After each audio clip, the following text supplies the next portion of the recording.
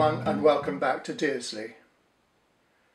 I finished part one awaiting for the white metal cast buffers to replace the kit ones. When they arrived however I found they looked a little small compared with the reference photos so I decided to opt to use the kit buffers after all. This made the buffers on the jib runner wagon look too small compared with the photos.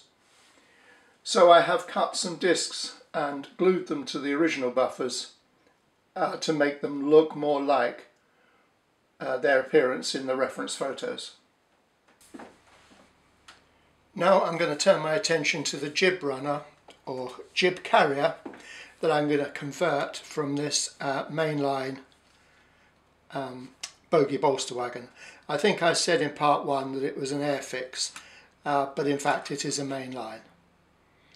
I've thrown away the little uh, uprights, um, but there are these uh, structures across here that need to be got rid of. The um, jib runners were quite smooth across, so I, I need to get rid of that. Um, I've taken off the, um, the couplings and the bogies just snap off. They just pull off and actually you can probably see the bottom part of this also comes apart. I'll look at that in a moment. Um, these are plastic wheels so I'm going to uh, replace these with some metal ones. So I'll put these on one side for the moment and turn my attention to uh, just taking this um, uh, bottom piece away from the platform. Um, I don't want to risk damaging this so I'll try and remove okay let's have a look at this end. That one's actually off. So they look as though they just they just snap off actually but I don't want to break them.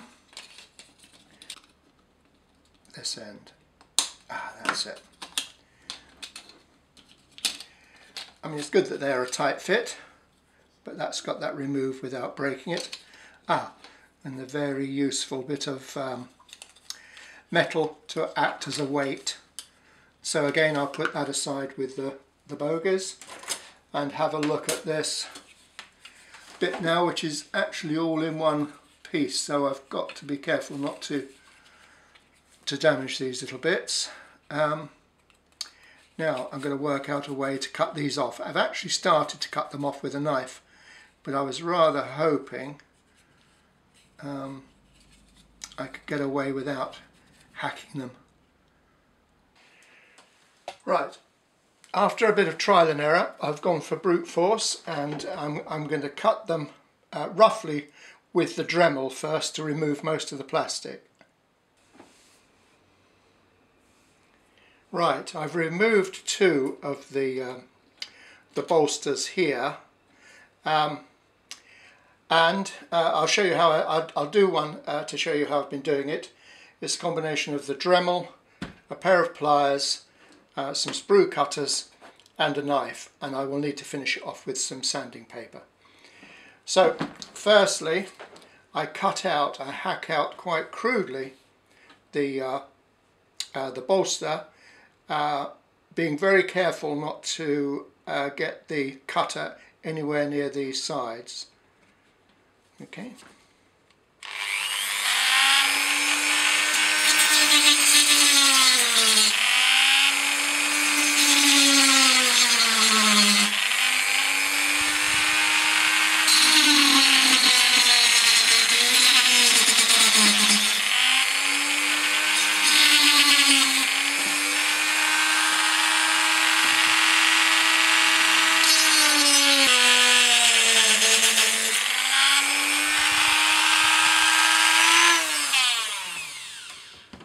Right, the work of the Dremel is now finished. Um, obviously the plastic has, has melted to an extent, but that's not going to be any problem. But it's still held in place there. So with the pliers, I'm just going to wriggle it free.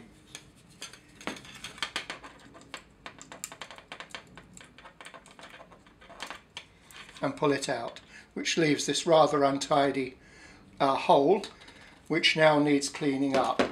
Now I've left the ends of the bolsters against the um, side rails so that I don't damage the rails. So first of all I'm going to cut these uh, using the sprue cutters. I'm going to put the back ends of the cutters against the rail and cut down and the same on this side just cut down there. And then I'm going to cut up to the rail. And that, that flew out actually but that snipped out that final bit of the bolster. There it is which has left it a little untidy but it's left the side uh, the sides of the wagon um, undamaged which is the main thing so now I can just finish this off with the knife I can tidy up that end and I can cut off some of this um, plastic that's melted. Okay. Needs to need some trimming. It doesn't matter if I damage this because I'm going to put another floor on this. I just want all the frames and everything to to hold the shape so that it um, is still a sturdy uh, structure. Again it will need uh, tidying up under here I will need, in order to get the bottom bit flat back again, I will need to trim up some of this molten plastic. Okay, we're finally done. The bit that matters is very neat. The surfaces are smooth, top and bottom, and we should now be able to snap back um, the section of the chassis that holds the weight and the bogies. So I'll just fit that in there and then I should be able to just snap that back in position.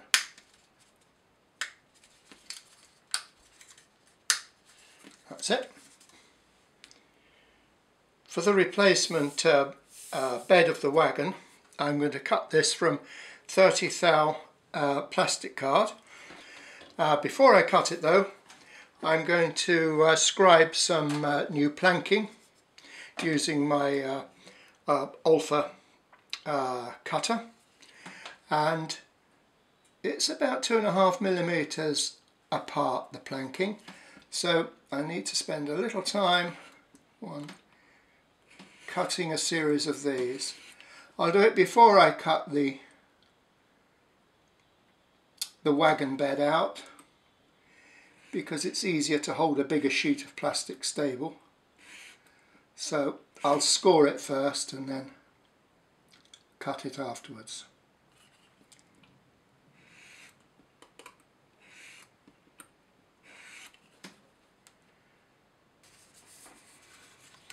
Okay, with the new wagon bed um, measured and cut to fit, um, I can place this inside the wagon frames it's a nice snug fit. It sits nice and flat. So that's ready to be um, glued into position. I've put the wheels back on so you can see now the complete modification of the um, the bed of this bogie bolster wagon. It's time now to add some of the smaller scratch built detailing that I can see um, along the uh, chassis of the crane. Basically these consist of sort of like uh, angled brackets above the centre of each of the axle boxes and a number of steps, one at the front and one at the back and one going up just underneath the, um, the cab door. For this I'm using uh, 0.5 millimeter plastic card that I shall cut into thin strips and this channel section Plastruct I think it's called, I'm not quite sure, but you can buy various chan channel sections and L shapes and girder sections. This is a, um, a channel section and I've already cut five sections of that to fit above the axle boxes. So to make the steps I'm simply going to cut thin a series of thin strips of this enough to cut up and make all this all the steps. That should be that should be plenty for one side. Once these are cut up I will simply use some tweezers and dip them in some uh, polystyrene cement and just carefully glue them in place. The conversion of the crane chassis is now fully complete. I fabricated some vacuum hoses uh, using stiff wire and some heat shrink tubing. I mentioned in part two that I wasn't sure whether I was going to have the, um, the crane working or not and I ran into a little bit of a problem. Um, my assembly wasn't that brilliant. I managed to get the glue um, between the drum and the bearings and everything and it seized up.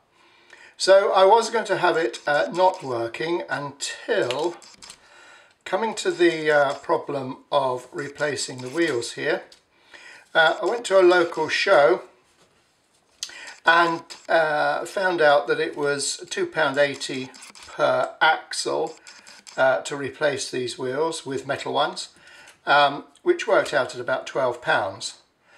But what I decided to do was to buy another crane kit because in this kit you get four axles that will suit the uh, jib runner and this kit including uh, postage from eBay was under £8.50 so it left me with a completely uh, uh, new crane that I could assemble and repair the uh, problem I made for myself in the first attempt. This is the first fiddly part of the build. The smaller drum uh, is in two parts and it must fit into that bearing there and into the hole in the side. Now I didn't pay enough attention to this on the first build uh, but this side obviously must be at 90 degrees to the base. Uh, this must fit vertically in its slot and leave this to rotate sorry to rotate freely. If I put a, a screwdriver in there, I can turn that and the drum rotates fine. I had to do a, a, considerable amount of sanding to get this to fit and I found the best place to stand is this junction here okay? Sand between the two drums to get these uh, to fit closer together. I haven't glued this uh, this is all dry fitted I've dry fitted also the front drum and again it needed a considerable amount of material removed from each half of this drum in this position. Again this is dry fitted, this is vertical to the uh, base and so is that and this needs to rotate sort of freely between the two. Both drums have now been glued together and I've brush painted them with some uh, Vallejo dark grey um, and I have fixed the nylon uh, cord or the nylon thread I'm going to use um, as, as the crane rigging. I've got a bit of super glue that's dried on here so I'll just trim that up and then the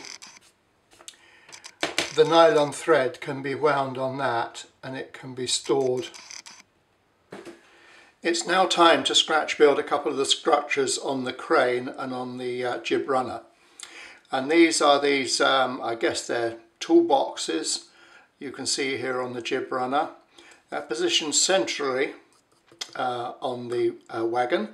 And over here there's a couple of boxes that we need to fit onto the back of the crane. I think they're hydraulic boxes. There's actually a little, a little dial um, on them.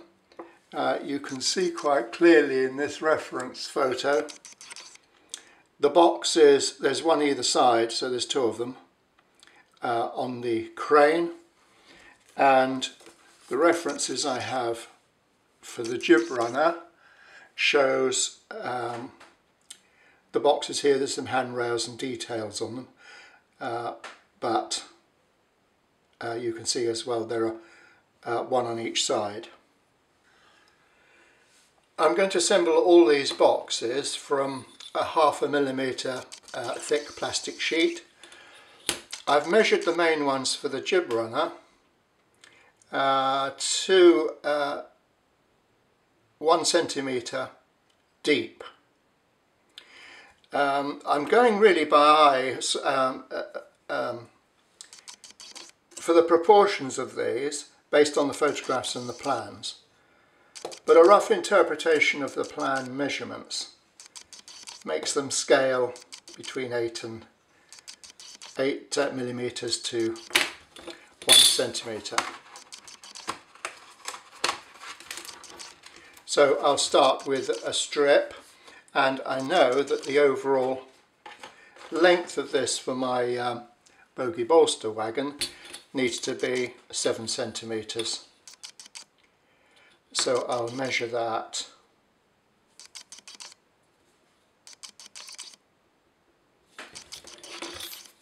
and cut that across.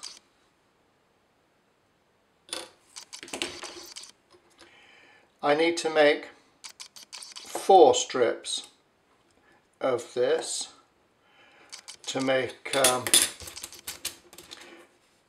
the boxes for each side of the bolster wagon. I have cut the basic shapes for the uh, sides and ends.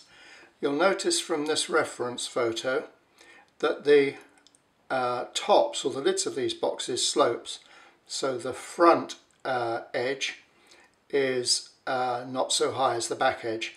So I cut them all to uh, one centimetre but the fronts I've shaved off two millimetres so I've got the back and the front here of each box is cut. Uh, this is one side of the wagon, that's the other. And I've cut the ends of the boxes with the slope. So I'm going to now assemble these. I've assembled the box sections. I did say earlier actually that I made them from half um, a millimetre sheet. Uh, they're in fact made from one millimetre thick sheet. Half would be too flimsy. My apologies. Anyway, uh, they are assembled and the centre section I've blocked off with a flat, not a sloped, but a flat piece of uh, one millimeter plastic card. Uh, this will need, once this is perfectly dry, you need to cut down the back part of this and level it off. I've done it on the other boxes so that you can see. This is these are the boxes on the other side. And you can see I hope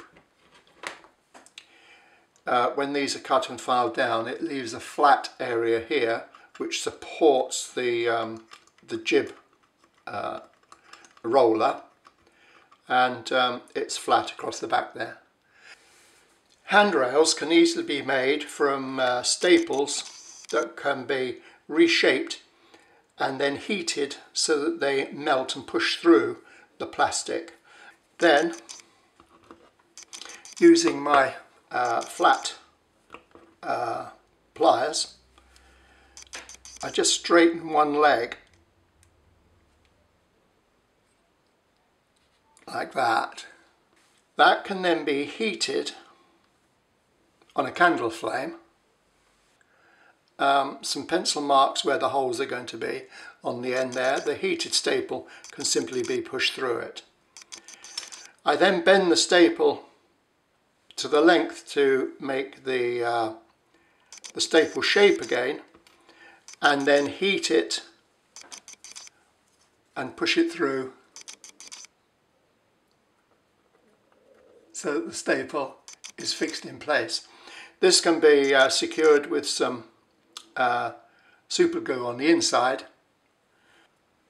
I use a scrap of 1mm plastic to act as a spacer so that all the handles are the same distance, are raised to the same distance. And then that simply holds in place till it dries. With the box assemblies now done and the handles fitted, um, I'm going to just true them up on the top and the bottom before I fit them to the uh, wagon. And for this I use a, a block of wood, um, a sturdy block of wood with a piece of uh, sort of fine sandpaper attached to it and I can simply take the complete dried structure and just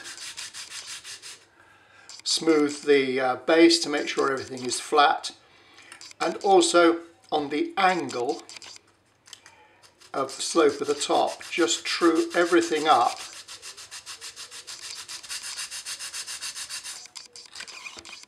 now I'll fit them to the uh, to the wagon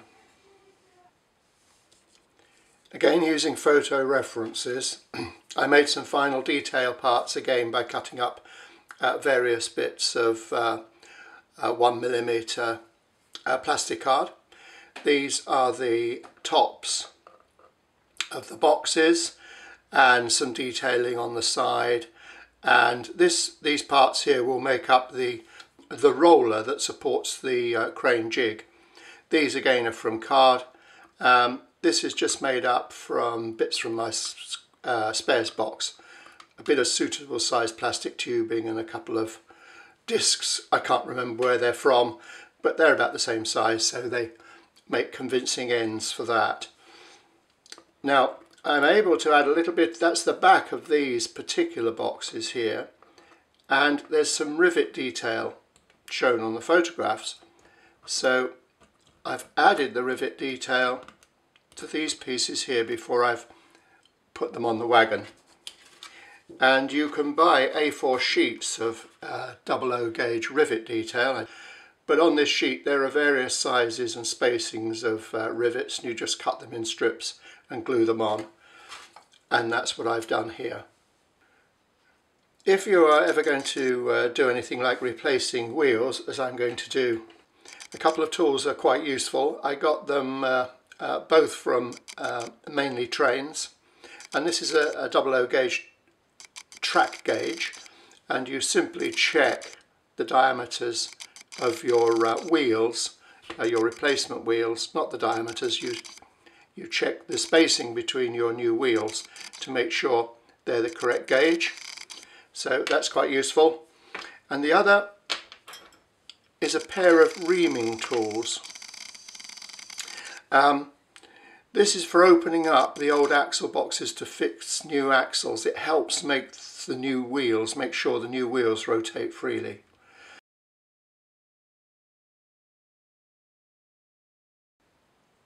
In the axle, position like that, and then by squeezing it and turning it, it ensures the new wheels will turn freely. The new metal wheels from the second crane kit in this case can be inverted and they spin perfectly, perfectly freely. The jib runner uh, truck is now uh, fully complete. The roller is mounted on the top here, the jib will rest on that. So that's the assembly uh, part of this uh, build done. All that remains to do now is the painting and weathering and this will form part three, the final part. So that's it for part two. I hope you found this build uh, interesting and enjoyable and thanks for watching.